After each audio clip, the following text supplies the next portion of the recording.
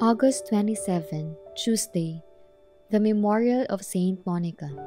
A reading from the Holy Gospel according to Matthew. Jesus said, Woe to you, scribes and Pharisees, you hypocrites! You pay tithes of mint and dill and cumin, and have neglected the weightier things of the law, judgment and mercy and fidelity. But this you should have done without neglecting the others blind guides who strain out the gnat and swallow the camel. Woe to you, scribes and Pharisees, you hypocrites!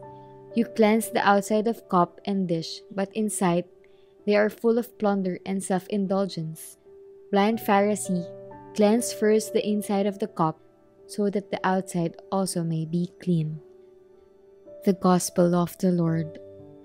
Neglecting the weightier things. The obedience of the Pharisees is noteworthy.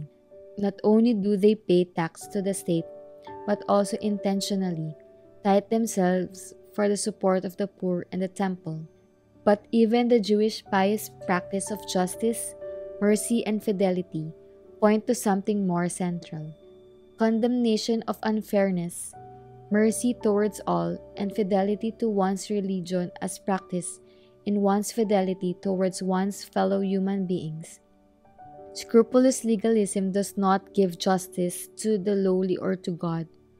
God wants to encounter human beings in freedom and in ever changing situations in life.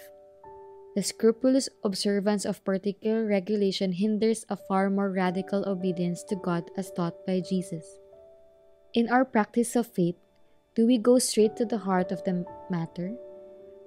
Do we have a sense of priority so that we do not get lost in details to the neglect or more important things?